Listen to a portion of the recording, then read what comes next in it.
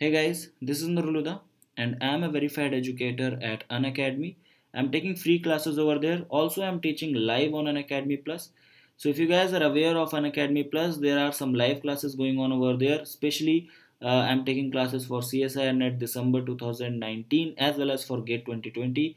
So I'll be covering all these topics which are given right now on your screen my course name is comprehensive course on chemical sciences. So if you guys are interested into that you can subscribe for Unacademy plus. Also after this course completion which is going to be completed in september i'm going to launch one more course for uh, numerical solving especially for the physical chemistry part right? So if you guys are interested in that if you guys want to prepare along with me for the CSIR NET December 2019 you can subscribe yourself for Unacademy plus and while subscribing if you put my referral code that is n underscore huda you will get 10% discount on the subscription fee. So this is all about the Unacademy plus. Now let's continue with our video. Hey guys hello everyone and welcome to the channel. So in this particular video i'm going to discuss about the reaction mechanism in organometallic chemistry.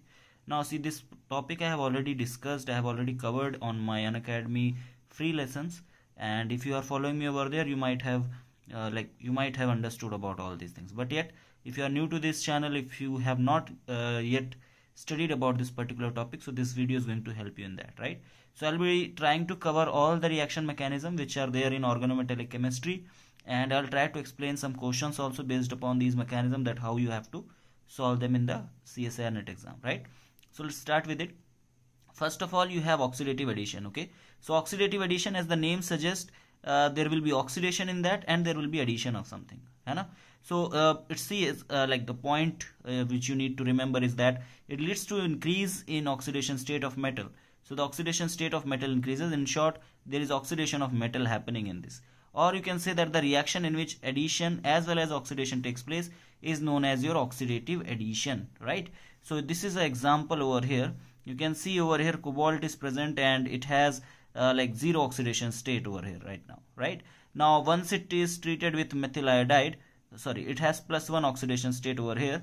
And when it is, once it is treated with methyl iodide it shows you uh, like plus 3 oxidation state. So the oxidation state of cobalt has been increased from plus 1 to plus 3 right? So the there is oxidation uh, happening in cobalt as well as there is addition of this methyl and iodine which is happening in this particular complex. So that's why this type of reaction is called oxidative addition reaction.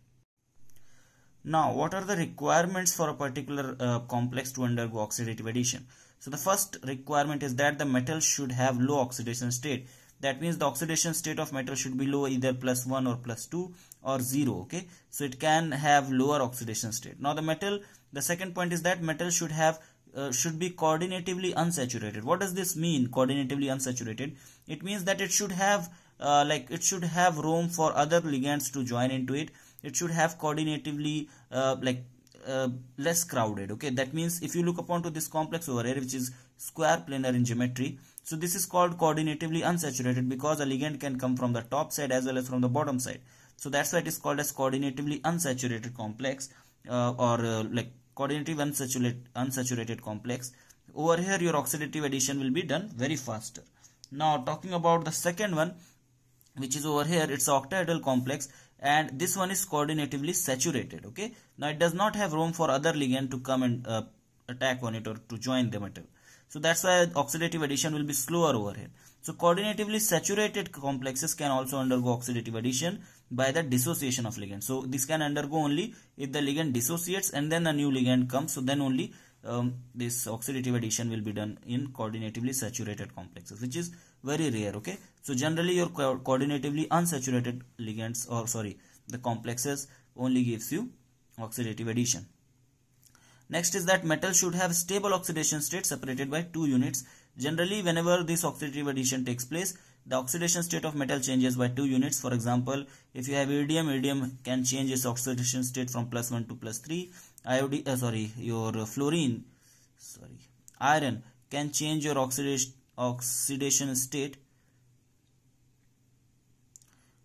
Iron can change its oxidation state from plus 3 to plus 5 whereas your cobalt can change its oxidation state from plus 1 to plus 3 so these are certain examples where you can see that the oxidation state is being changed by two units and over here the oxidative addition is very much possible. Now the next thing which is important is that it is generally seen oxidative addition is generally seen in your 16 electron complexes. And these 16 electron complexes they uh, convert themselves into 18 electron species or square planar converts itself into octahedral species.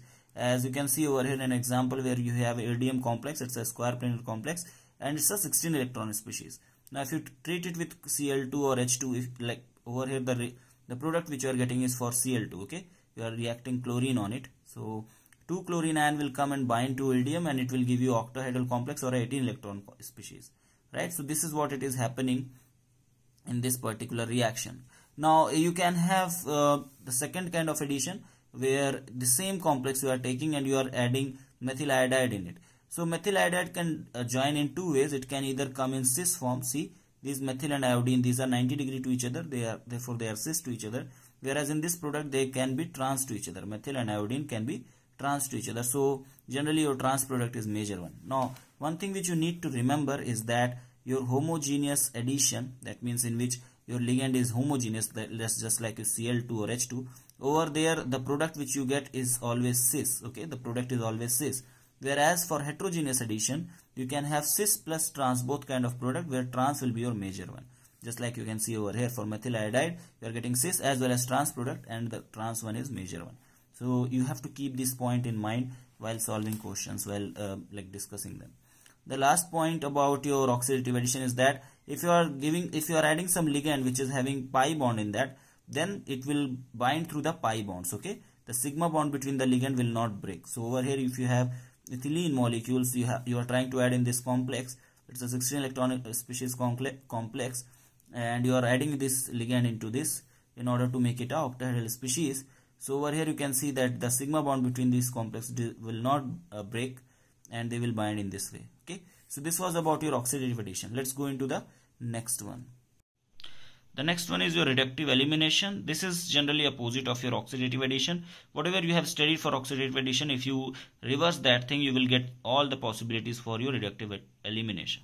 Now over here what happens? That two cis ligands bound to the metal they couple together and they leave the metal okay? So the movement or the removal or the reduction or the elimination of the ligands are done from the cis position now each anionic ligand will donate one electron to the metal reducing the oxidation state of metal by 2 units. That means what happens over here in the oxidative addition remember what I told you? That the oxidation state increases by 2 units whereas in reductive elimination the oxidation state reduced get reduced by 2 units okay? Now uh, coordination number of the metal is also reduced by 2 units because two of the ligands will be leaving the coordination coordinating coordinating sphere. So that's why. If you have this complex for example over here palladium is in plus 2 oxidation state. You can see now reductive elimination will take place in presence of DMSO so these two cis ligands CH3 CH3 which are cis to each other they will leave the uh, complex and they will form ethane molecule.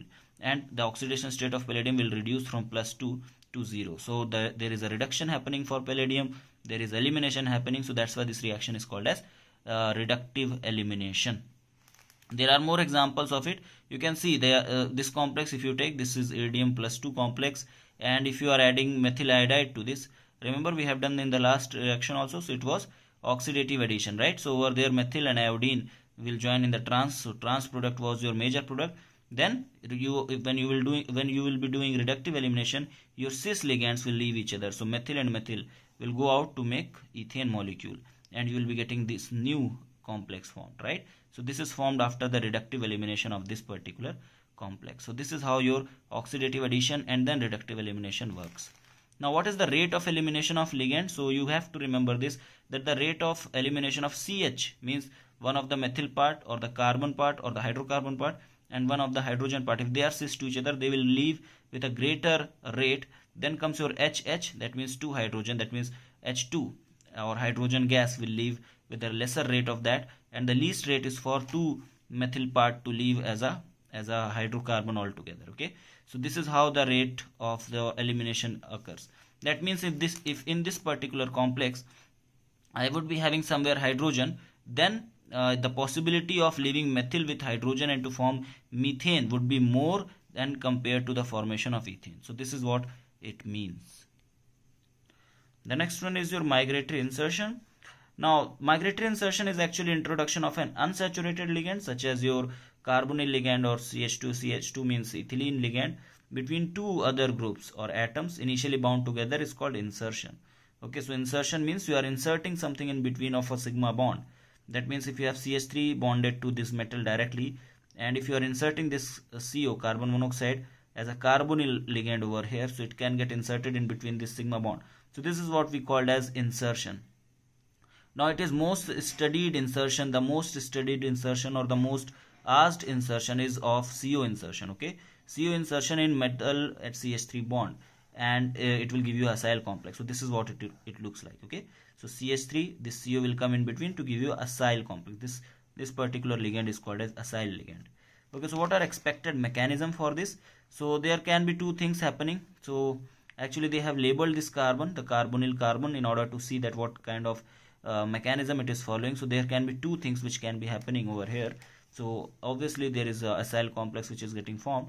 So how it can be happening? There are two things. Either it is intramolecular uh, insertion that means the CO from your molecule it can come inside and um, it can like insert in between uh, metal and CH3 so you will be having a vacant site and later your this labeled carbonyl will go and bind to the vacant site so in this case, your carbonyl will not be labeled one. The acyl group will not be the labeled, will not contain the labeled carbon. Whereas the second is your, uh, second one is called as methyl migration. Here also, if you will see, so this methyl group can go and it can like it can migrate from its position and it can go and bind to this carbonyl group. And then again you have a acyl group formed over here. Again your acyl group is not having your like it will not have your labeled carbon and then your labeled carbon can come and it can join over here. So basically this carbon this one is your labeled carbon right? So this is the second possibility. So there there can be two uh, reaction mechanism which both satisfies all the condition. One is your intramolecular insertion and other one is methyl migration. So there are some points which you need to know that when metal metal and x x means the migratory group end up at the same atom okay so this is one of the thing and this is common with eta 1 kind of ligand. So the ligands which are of eta 1 kind over there this kind of thing is happening where your metal and your migratory group they both end up at the same position. They both go at the same position. So that's what it is okay? So now we'll try to understand on the basis of uh, what kind of migratory insertion are. There are actually two types of migratory insertion. One one migratory insertion and one two migratory insertion. We'll try to understand that in detail fine. So we'll be talking about insertion of alkenes okay? So migratory insertion of alkene into metal hydrogen bond or metal alkyl bond result in conversion of pi coordinated alkene to a sigma bonded alkyl group. Now this reaction involves migration of a hydrogen or alkyl group. So see how it, it will be happening. So this is your metal bonded directly to hydrogen as well as it is pi coordinatively bonded to this ethylene molecule. So this is alkene now what will happen that when you do migratory insertion in that case this pi coordinated ligand will now be converted into a sigma coordinated ligand right? So this is what actually is happening. So this is also one kind of insertion in which this hydrogen is coming over here and then this bond is getting shifted on this.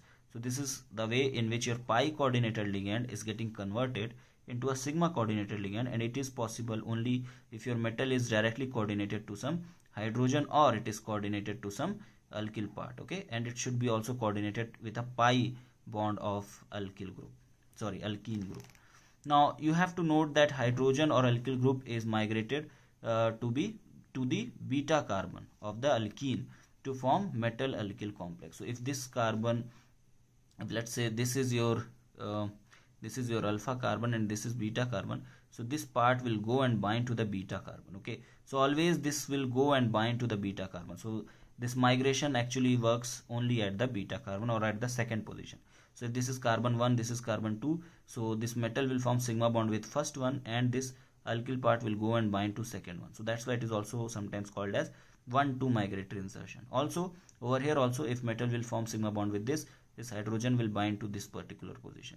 So this is alpha and this is beta. Okay? So that's why it is also called as also called as 1 2 migratory insertion.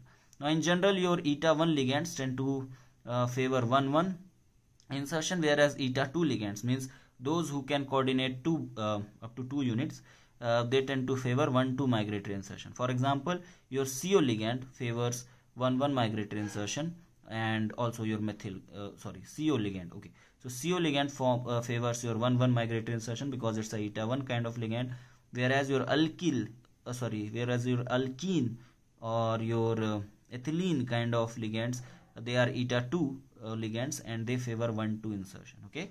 So SO2 can like this is one of the exceptional case. SO2 it can undergo both 1 1 insertion as well as 1 2 insertion. So I'll show you that how it happens. It's exceptional case okay? So what happens over here if you have some this tertiary alkyl over here just to show uh, this this is a different alkyl. So it can undergo first of all this can uh, form a bond with sulfur and uh, it can form a different complex with sulfur so now this is the first step right? Now in the next step what it will do it will now bind with through the oxygen okay? So basically what has happened that if you if you name this sulfur as 1 and this as 2 so this has just now happened uh, 1 2 insertion of SO2 okay? At carbon as sulfur number 1 you have this ligand which has been inserted and the second position you have metal complexes which uh, metal complex which has been inserted. So this is 1 1 inserted product whereas sorry 1 2 inserted product. And it uh, it can also undergo one one insertion over there. What will happen? That both this uh, metal will also be coordinated with sulfur and this ligand will also be coordinated with sulfur. So both of them are coordinated to sulfur. So this is called one one insertion product. Now this is thermodynamically stable product and this is kinetically stable product okay? So if you if somebody is asking you that which product is more stable so you will say you will say that this is thermodynamically stable product and this is kinetically stable product. So remember there is SO2 which can undergo both 1 1 and 1 2 insertion both okay? I hope this insertion migratory insertion is clear by now. Now you should also remember some features of migratory insertion which will help you to uh, like to decide that what kind of migratory insertion actually is happening. So the first point is that that during migratory insertion there is no change in the formal oxidation state of metal like it was happening in oxidative addition the oxidation state was increasing. In reductive elimination the oxidation state was decreasing. Uh, what will happen in migratory insertion? Nothing will take place okay? That will not be there will not be increase or decrease in the oxidation state. Second point is that migratory insertion creates vacant site which is being occupied by the incoming ligand. So there is a vacant site which will be created during the migratory insertion and the incoming ligand can uh, occupy that uh, vacant site the third point says that the two ligands undergoing migratory insertion must be cis to each other. This is very important. Okay, so two groups going undergoing migratory insertion they have to be cis towards each other. One more point just to recall that always reductive elimination also takes place when two ligands are cis to each other. Okay, so remember these two things. The next point says that two ligands which are trans to each other never undergo migratory insertion. So it's just uh, to clear up this point number three. Point number five says that migratory insertion is favored on uh, on more electron deficient metal. So if your metal is more electron deficient, in that case migratory insertion will be more over there. Now point number six is very important. It says that if there are two different alkyl groups coordinated to the metal, then the alkyl group which is more electron rich will be better nucleophile for the migration, uh, for migrating to the electron deficient CO ligand. That means if you have tertiary butyl um, group isopropyl group ethyl group methyl group and PHCH2 group. Then which one will migrate? So just like over here for example in this you have CH3 as well as you have ethyl group. So which group will migrate to this CO that means uh, which will try to form the acyl group. So this ethyl okay? So the product which you will get over here will be this actually. So you will be having CO uh, MN uh, rest of the things will remain as it is. So this CO is here now this CO is over here. Uh, okay so what will happen? So you will be having CO CH2 CH3 okay so this is uh, the thing. And this CH3 will remain as it is and you will be having a vacant site at this particular place. So see these two were cis to each other. That's why this happened. You can take any of the cis CO and you can do this thing and show over there. I have just taken this one. You can take this CO also to show this. Fine. So this uh, happened only because this ethyl group has more this is more electron rich and that's why it's a better nucleophile for migrating okay? Right? So between if you have if you have choice between uh, the groups so you have to make choice according to this priority list.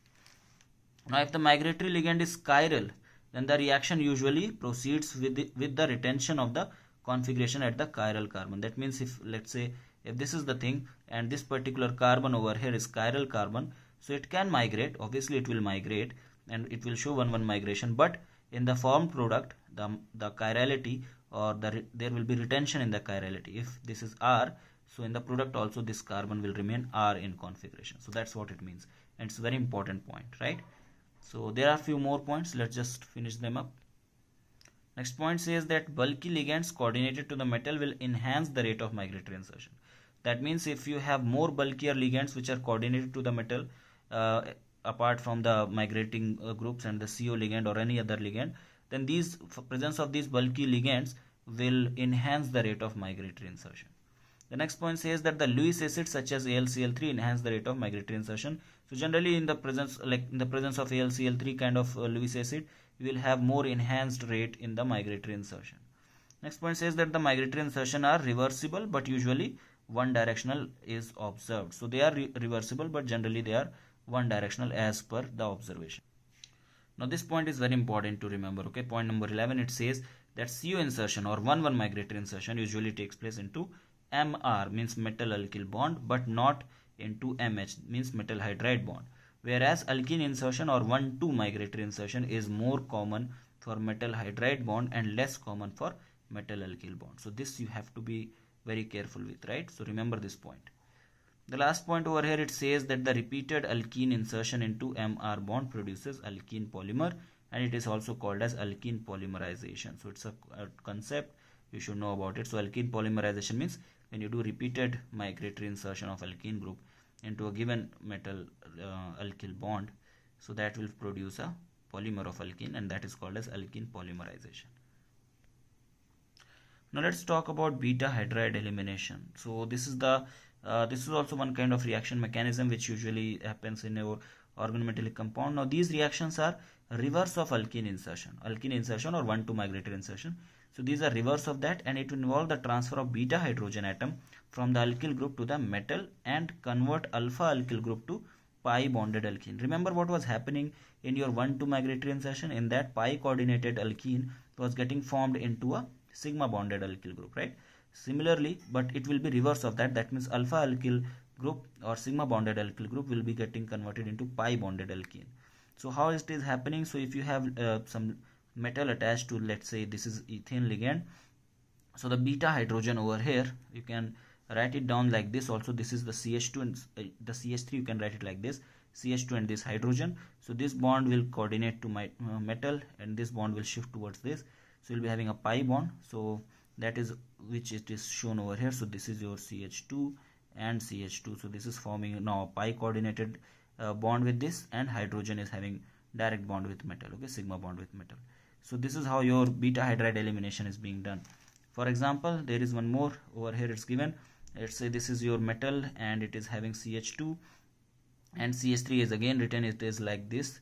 So here in this one you can have again uh, your beta hydride elimination can happen but over here interaction which is possible between metal and this beta hydrogen is called as agostic interaction and I'll explain about it in the next like topic.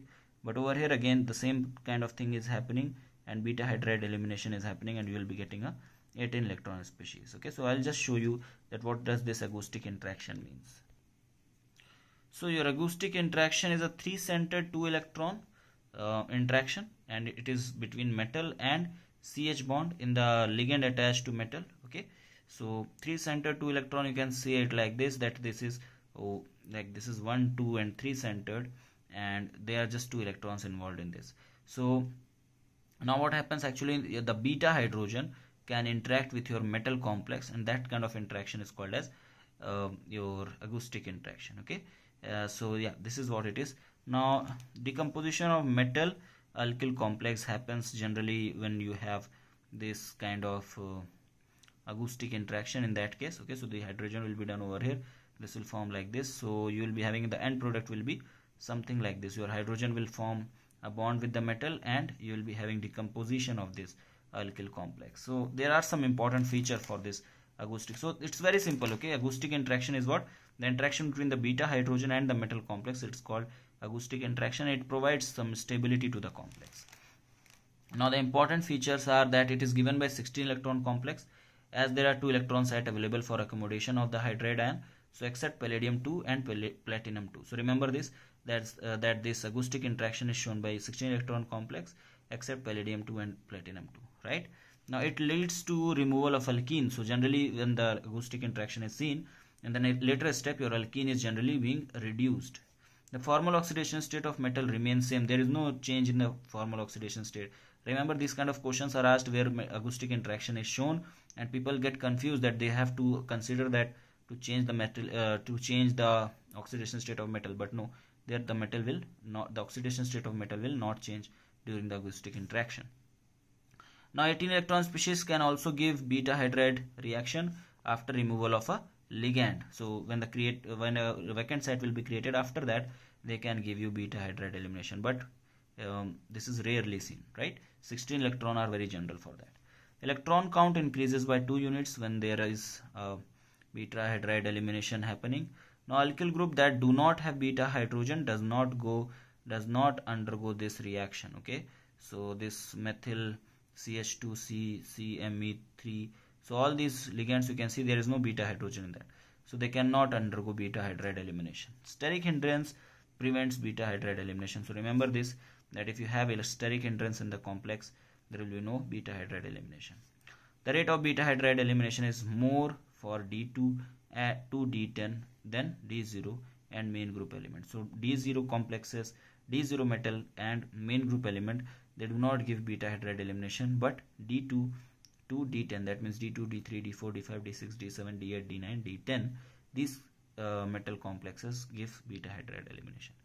So by far by now I have covered all the reaction mechanism uh, which were important. I think I don't think there are much left. I think there are just some small topics which are left. If you guys want some certain important topic which I have missed in this lecture you can um, write, write it down in the comment section. I'll just take some questions in the previous CSIR net exams and I'll try to explain them and I'll try to show you guys that how they have to be solved based upon whatever we have studied right? So put you down all your doubts and everything in the comment section. I'll try to uh, like I'll try to clear them up. Fine. So let's discuss this particular question which was asked in CSIR June 2018 exam. And the question was uh, like given a reaction was given already to you. The rea reagent and the product was given and there were four statements given. The statement A says that the oxidation state of iridium which is the metal over here increases from plus 1 to plus 3 second statement says that it is a beta hydride elimination reaction. Third statement says that 1 and 2 both are diamagnetic species. And fourth one says that it is a migratory insertion reaction. Now uh, remember one thing that uh, yeah.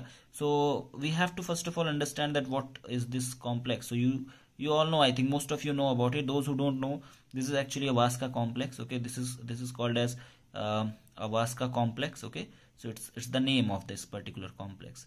Now let's talk about the oxidation state over here right? So the only only um, like ligand which is charged over here is chlorine. So chlorine will give you minus one charge. So if you take um, okay if you if you try to find it out the oxidation state for first one.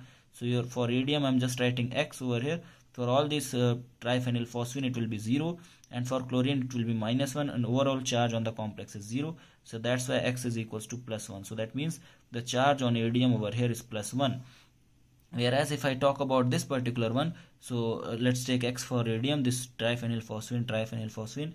As well as for this phosphine it will be uh, like 0 so the negative charge will be for chlorine, for hydrogen and for this phenyl ligand. So you will be having minus 1 for chlorine, minus 1 for hydrogen and minus 1 for your phenyl ligand. So that will be equal to 0. Overall it will be minus 3. So x is equals to plus 3. So you can see easily that the oxidation state is of iridium is actually changing from plus 1 to plus 3. That means statement number A is totally correct. Now talking about statement number 2 it says it's a beta hydride elimination reaction. So is it a beta hydride elimination reaction? Let's try to find it out. So if you look upon to the mechanism of this particular reaction, what I have done that in the complex it was given that PPH3, PPH3 and PPH3. Now one of the phenyl ring I have shown like this. That's all I have done. Okay. So I have just shown among PPH3 that means three phenyl groups. Two of them I have written as PH2 and one of the phenyl group I have written like this. Now you can see that over here this particular dotted line is actually showing you about the agostic interaction which is actually happening now what will happen in the next step that uh, uh, this particular yeah so this particular bond will break and this hydrogen will actually form a sigma bond with this iridium like this. And you will be having a bond with between pph2 and a sigma bond with this uh, with this phenyl ring. Okay so that's what the product is given to you in the reaction. Now is it beta hydride elimination? So no it is not. Although you have agostic interaction happening over here with the beta hydrogen but it's not beta hydride elimination. Why? Because there is no there is nothing which is getting eliminated. Always remember the name suggests that it should be beta hydride elimination. That means there should be elimination of something. And if you have uh, like if you have watched the video carefully i have shown like i have told you guys that in beta hydride elimination reaction there is generally elimination of alkene group which is not happening over here. So that's why it's it's a um, like this reaction is uh, showing agostic interaction but not beta hydride elimination. So that's why your statement number b is not correct okay? So i'll just cross it up. Statement number c says that one one and two both are diamagnetic. So first one is a square planar complex okay? So just try to draw the uh, like the d orbital splitting of square planar complex and draw the number of uh, valence electron in that. I think that you you all can do. So i'm not going to do that over here for you okay? So please try to do it and see you, yourself that all the electrons will be paired. Same goes for the octahedral complex in the product so it is your second it's octahedral complex draw d orbital splitting and then fill all the electrons. Now remember one thing that the oxidation state is plus 3 and plus 1 over here also it will be uh, a low spin complex because iridium is not your 3d ligand or uh, 3d uh, metal right? So it forms a 4d and 5d uh, complexes 4d and 5d uh, metals they form low spin complexes. So it will also form a low spin complex and generally low spin complexes are diamagnetic in nature. So third statement is correct okay just try to check it up and it's a correct statement. Fourth one says that it's a migratory insertion. So is it a migratory insertion? Try to find it out using uh, 18 electron rule. When you will do 18 electron rule for this you will find out that it's a 16 electron species whereas this one is 18 electron species.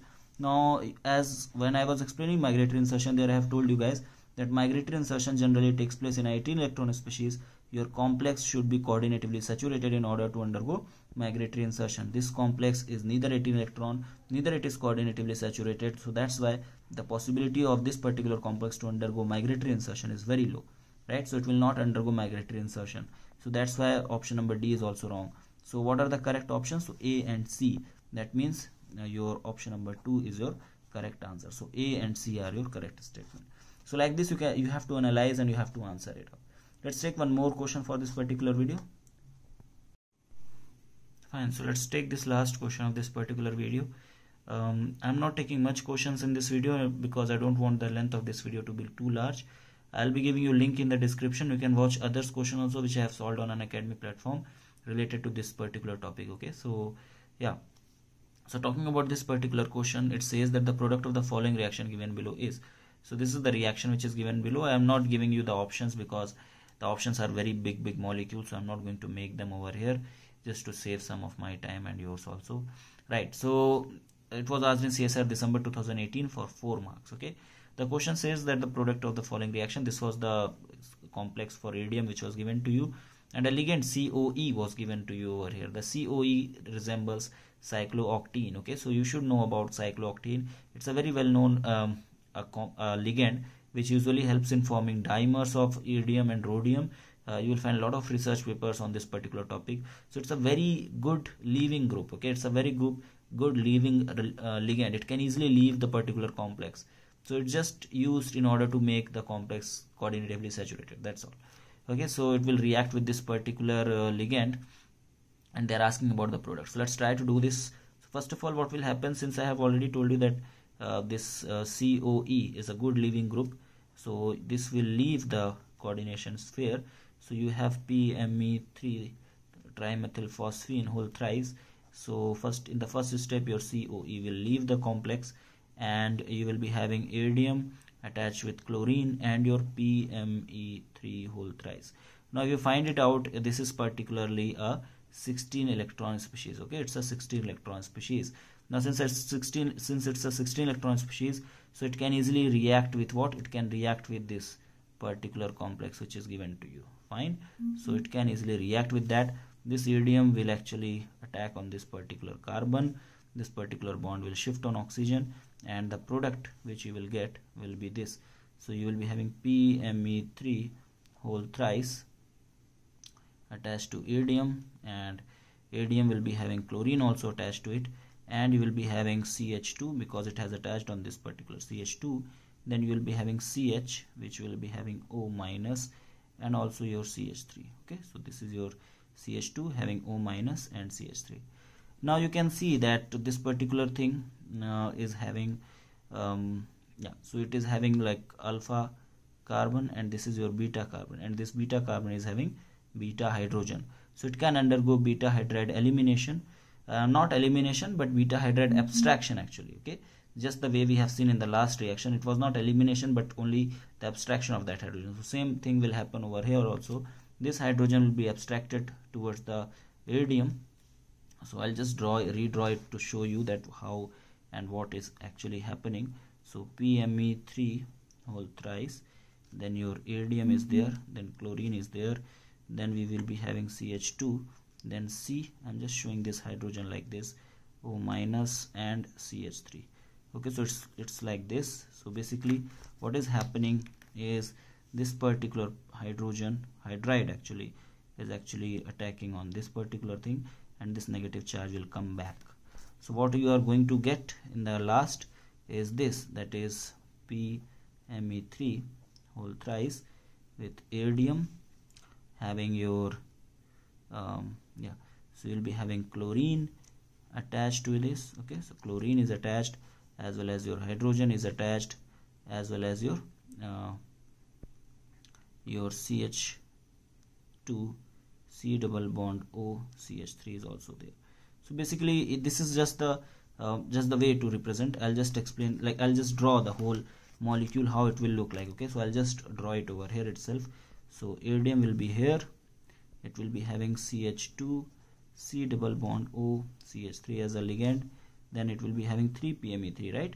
So I'm just making one PME3 over here.